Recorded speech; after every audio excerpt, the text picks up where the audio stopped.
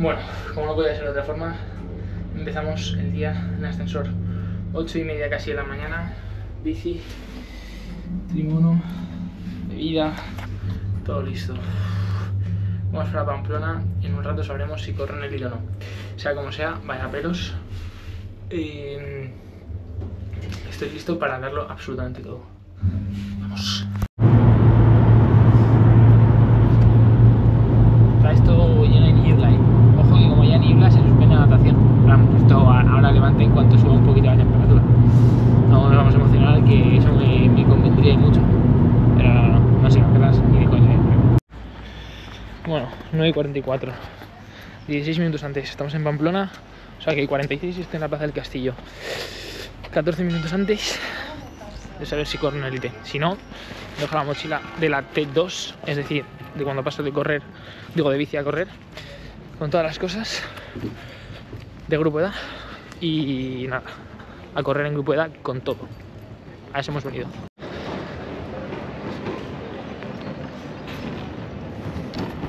Esta es la Plaza del Castillo, la zona de meta, y por aquí pasamos tres veces. Si vamos por ahí, desde aquí, nos vamos por ahí. Nos vamos como por detrás y ya luego volvemos por donde os enseñé el último vídeo, en plan, las subidas ahí por la estafeta y demás. Estoy sin bolsa. ¿Dónde corro? Nah, en grupo al final. Faltaban dos dorsales a las 9 y 57. Ha llegado una persona a las 9 y 59, ha cogido el suyo. Y estábamos cinco esperando a ver si ahí se quedaba alguna plaza libre en élite. Y eran los cinco, bueno, o sea, otros cuatro y yo. Y los cuatro eran los cuatro que tenía por delante en la lista de espera. Así que nada, el primero se lo ha llevado y yo, grupo edad, pero me da igual. Voy a volar, grupo edad. Sea lo que sea, a darlo todo. Bueno, eh, algunos o la mayoría diréis, ¿qué diferencia hay entre correr en grupo edad y correr en élite? Eh, bueno, básicamente eh, las dos puntúan para el ranking nacional, eh, pero si corres en élite también puntúas para el ranking mundial. Esas son las principales características o diferencias, además de los puntos que se dan a nivel nacional y demás. Así que. Bueno, y luego que sales 5 minutos antes, eh, tienes ciertos requisitos para correr en élite, dan tiempos de corte y demás. Y. Y alguna cosilla más, algunas así cosas, pero yo tampoco me las sé. Básicamente, a mí los que me afectaban así de forma directa eran esos, para los que no lo supiesen. Acaban de pasar todos los panas que nos van a cortar las carreras.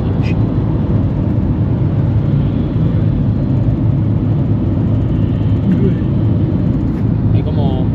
¿cuántos? Para menos 20. 11 y 10. Ardoz, finiquitado. Queda 2 horas 20 minutos. 25. ¿Qué tal? ¿Qué piensas? Bueno, estamos aquí al lado de los pros. De los, pros- de los más pros, aquí estamos. Pero si ves esto, nos referimos a ti. A ver si se pega algo. A ver si pega algo. Ahí está, 204, mi bolsa de la bici. Ahí está, todas las bicis. Y la mía está por ahí también. Esta es la cuesta de la transición, o sea, es una locura. Creo que se sube. O sea, vamos a calentar piernas, piernas bien rápido. Bueno, estamos ready. Estamos. Y ready. Para calentar un poco. muy buen día. Buen día. Pega un poco al sol, ¿eh? No, pega bastante. Yo que soy calvete, te lo puedo asegurar. Ah, Y nada, ya estamos aquí. Bueno, Luis, lunes, dos días después de la carrera.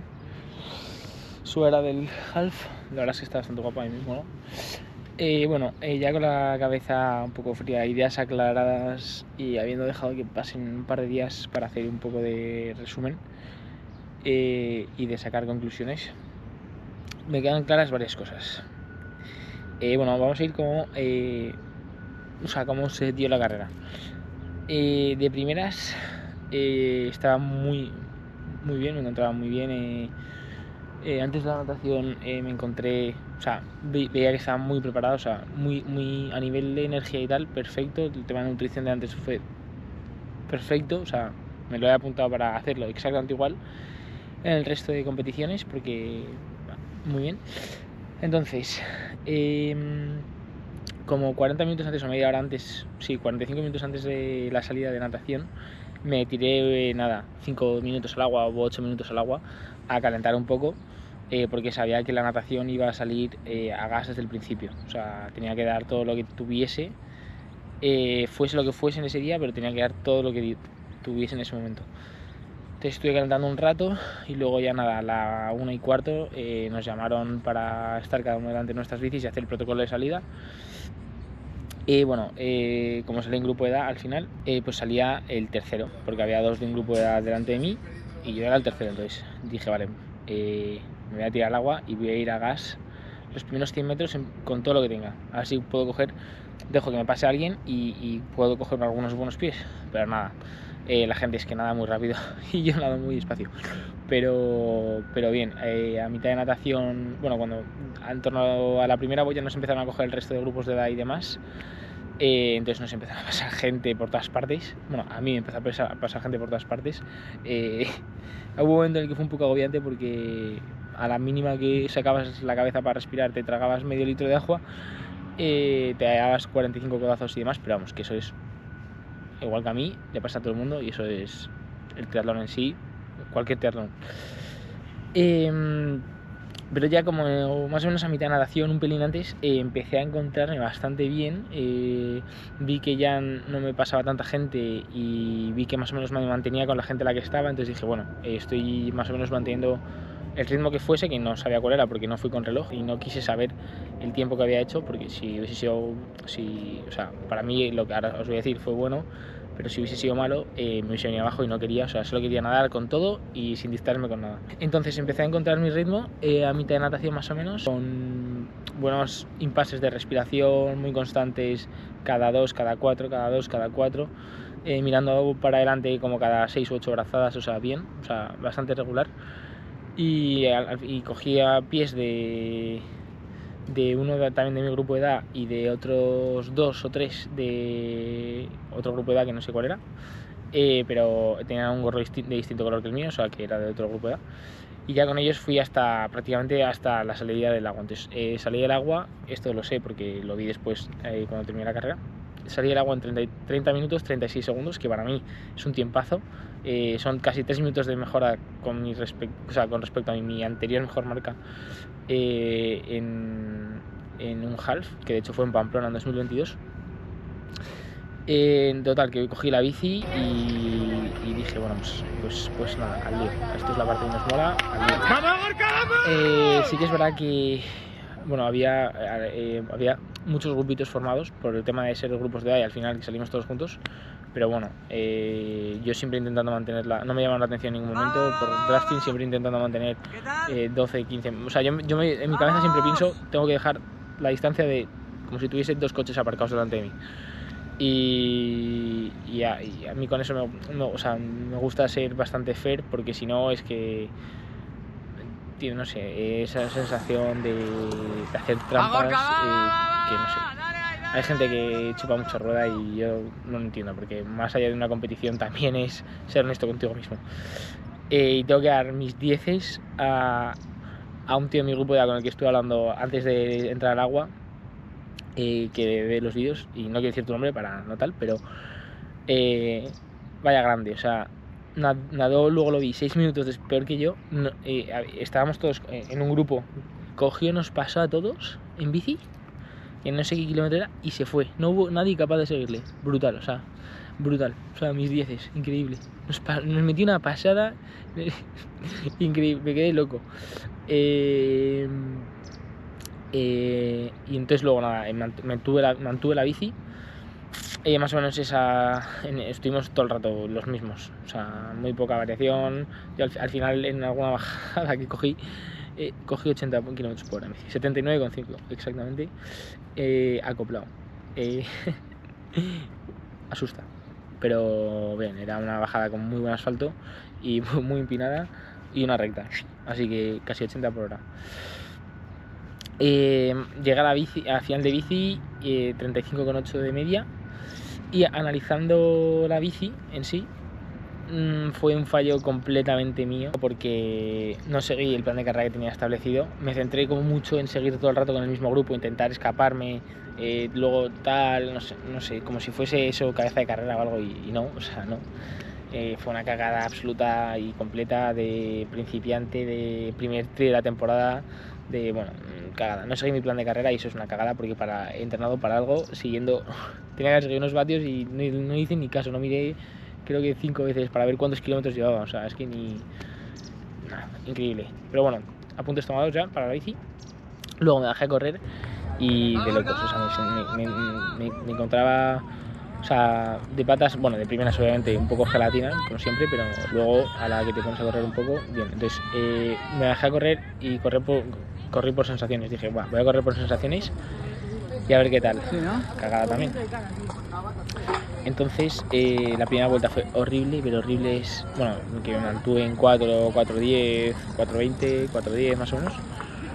Eh, pero un flato, corriendo con un flato, un, buah, un dolor increíble. Entonces me centré mucho en la primera vuelta ¿Vas en respirar, dando- llevar una respiración constante, profunda, ¿Eh? para poder quitarme el flato y al final de la primera vuelta lo conseguí quitar.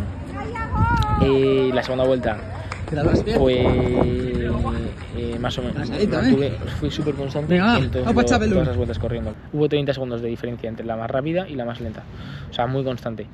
Y, y la sensación corriendo, las sensaciones corriendo eh, fueron muy buenas. O sea, eh, como que pasaba gente. O sea, me pasaron eh, gente de élite, porque me pasaron, me pasaron como dos o tres grupos de edad pero la sensación es que iba pasando gente y para ir por sensaciones, que es una cosa que no tendría que haber hecho, eh, bueno, lo cojo. O sea, sobre todo porque luego llegué a meta y tenía las piernas muy frescas, o sea, no tenía agujetas ni ayer ni hoy. eh, llegué a meta fresquísimo de patas, pero fresquísimo. Así que bueno, eh, porque miré, literalmente que miré el Garmin en el kilómetro 3, en el kilómetro 7 y medio, y luego eh, una vez eh, para controlarme el pulso cuando estaba subiendo Santo Domingo. O sea, el, ritmo no le hice ni caso. Mal también, porque para algo entrenado. Así que eh, apuntes tomados también. Y nada, eh, conclusiones. Bueno, al final fue eh, puesto 5 en 2024, 4 horas 24. Eh, y bueno, para la, y la carrera para el desnivel que tenía, que me salieron 228 metros. No fueron 21, fueron 20 y pico. Eh, pues no está mal, 1 hora 26.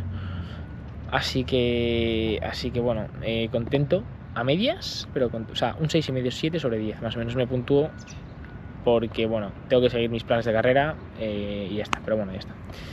Así que nada, en 12 días Vitoria, 1 de junio, ahí ya sí que sí, voy a seguir lo que he entrenado, mis planes, mis ritmos y, sin obsesionarme con otras cosas. Y atento a lo que, a lo que he entrenado porque si no, no sirve nada. Nada, eh, lo, pero lo más tocho de este viaje ha sido eh, el pedazo de equipazo que vino de sorpresa a verme. Primero antes de nadar, eh, el Catala Coach, Irene y Rosen, que estaban ahí, que me quedé loco. plan, creo que nadé tan, tan porque fue 10 minutos antes de meterme en el agua y fue en plan, ¿tú qué hacéis aquí? Y, luego corriendo en medio, en el único sitio donde no había gente, eh, ahí estaba la, gente de, de la Price, eh, vaya, vaya, vaya reventados, que, qué grandes. Eh, con copa en mano, obviamente. Eh, les ofrecí geles, pero creo que pasaron un poco el tema. Histórico, fue histórico. O sea, mil gracias a todos porque sois enormes, los, los nueve, todos, o sea, todos. Un momento en el que me dijeron, estás a un minuto, y dije, ¿cómo? Y apreté como un animal y estaba a cuatro. Lo mejor que me llevo de, este fin de semana es el pedazo de apoyo que he tenido porque ha sido, ha sido de locos. Así que mil gracias a todos, chavales, sois jodidamente grandes. Y yo nada, eh, hoy ya descanso, lunes, ma- mañana ya vuelta a la carga, semanita entretenida. Y el sábado que viene, otra vez, abrir gas. Ya tengo ganas, es que tengo ganas porque no estoy cansado, estoy bien. En dos semanas vamos a redimirnos, lo tengo clarísimo. Así que nos vemos el próximo.